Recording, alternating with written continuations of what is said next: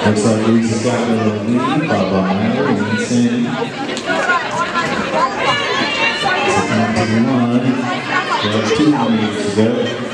Lisa still got the lead,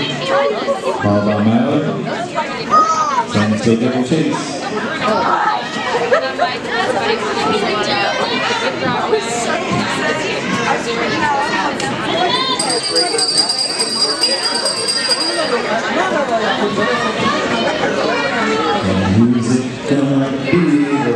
still have the lead.